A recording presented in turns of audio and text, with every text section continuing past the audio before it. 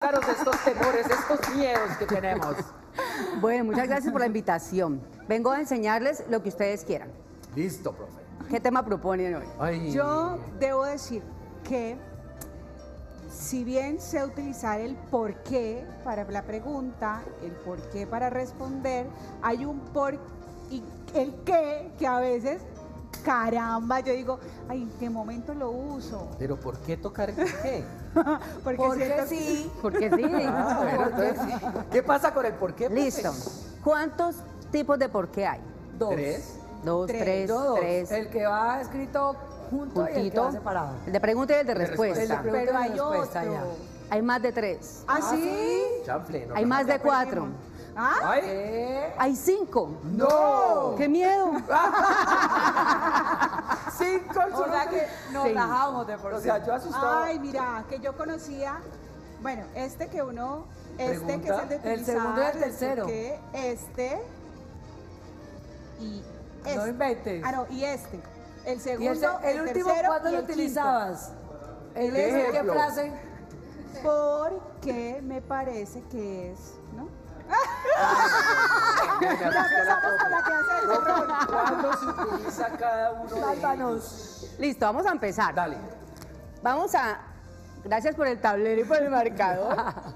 Cuando ponemos signo de interrogación y el por qué separadito, es porque estamos hablando de una pregunta explícita hacia alguien que requiere de una respuesta. De acuerdo. Sí, por ejemplo. ¿por qué estamos hoy en el canal TRO? ¿O por qué está hoy en el canal TRO la profe Mónica? Listo. Respuesta, ¿Por qué? este tercero. El que va pegadito, con El ese que siempre respondemos. Con este siempre respondemos. ¿Por qué porque queremos aprender. porque lo necesitamos. Ajá. Listo. Me gusta. Va. Eh, vamos con este, Sí. ¿Por que es qué? parecido a este, solo que no tiene signo de interrogación, A ¿cierto? ver, ahí me confundí. Y ahí Es más para diría, bueno, está mal escrito. No. Esa pregunta no va dirigida directamente a nadie y no requiere por obligación una respuesta. Ok, es más como Por una ejemplo, información. Por ¿por qué vendría hoy la profe Mónica al canal? Ah, O me pregunto a mí misma, ya. yo no sé por qué fui al canal Pro. Ay, yo no sé por No qué soy necesito respuesta. Este ¿Por que qué dice... vendría hoy la Yo no sé profe por qué soy Mónica? tan boba. Este. Ahí. Yo no sé por Sin qué el soy tan O sea, como que te estás preguntando, pero respondiendo también. Exactamente. Entonces Ese no lo es sabía. este. No, yo tampoco. Sí, como que no requiere de una respuesta inmediata, digamos Ok. así. También puede ser cuando lo Nos usamos a- autocuestionamos. Auto. Sí, puede ser una autocuestión o a, o a nivel de prosa, el profesor pregunta al estudiante por qué ha llegado tarde. ¿Requiere de pregunta inmediata? ¿De respuesta, inmediata? No. El profesor le preguntó a su estudiante por qué ha llegado tarde. Ah, bueno. ¿Quién sabe qué respondería?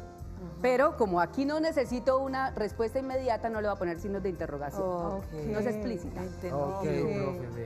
Me fui Aprendí. con lo más difícil aquí. Ah, bueno. Listo. Entonces Pero las sí otras se como pone son. tilde. Claro, sí se pone tilde porque a pesar de que no es una pregunta explícita, es una pregunta implícita que no requiere respuesta, pero sí lo, lo- lo- hay una cuestión ahí, digamos. Mío, profe. Listo, profe, Dios me gusta. Vamos las Acabamos de espantar ese fantasma ahí. Ahorita se empiezan a estallar las de los globos. ¿Por qué esas cosas, Hola? Vamos con este. ¿Por, ¿Por, ¿por qué? Que es Pero- como respuesta, pero con tilde. Les voy a decir una cosa para todos. Esto, en español, esta palabrita es un sustantivo, como decir casa. Así como yo digo la casa, el parque, también puedo decir el porqué. Y, y lo hemos usado. ¿Será Lo que por pasa qué? es que nos confundimos es en la escritura. A ver. Por ejemplo, ya entiendo el porqué de la visita de la profe Mónica. Ay, yo no Uy, lo hubiese Dios escrito mío. jamás en mi vida así. Y este porqué... Uno lo habla, solo que no lo escribe. Sí. Uno lo dice, pero no lo escribe. Este por qué es mm, sinónimo de motivo o razón. Ok. Ya entiendo el porqué de la Ah, visita ya sé de la por profe qué Mónica. Julieta me partió el florero. El porqué. ¿Ya sé? El porqué. El porqué del daño. Ajá. ¿Sí? Correcto.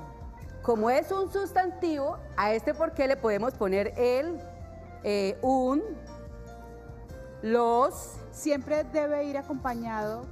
sí. Ok, ahí es donde está. Ahí es la que regla. Esa es la clave de este porqué. Ok. Entonces, si podemos reemplazar este porqué por la palabra motivo o razón, se escribe así.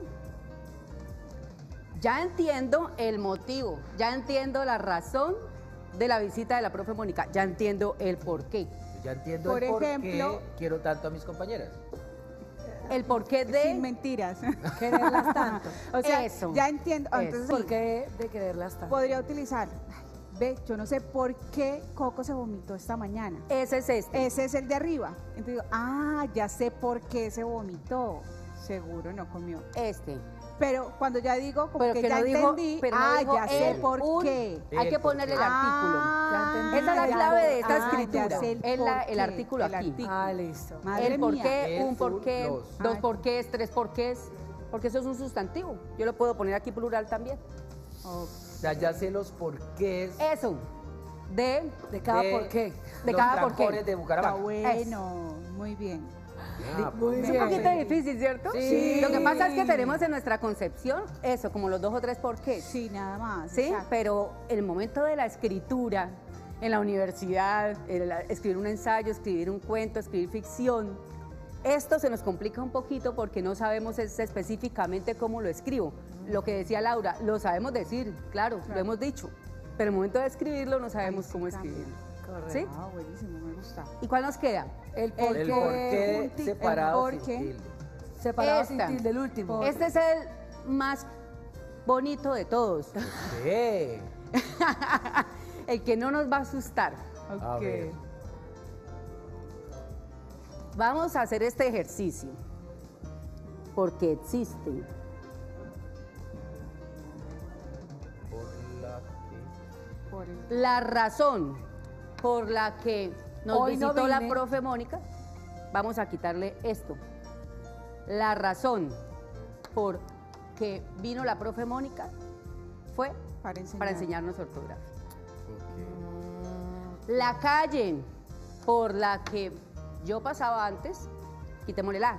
La calle porque pasaba antes, ¿sí? Sí. Esto lo que actúa aquí es como un pronombre.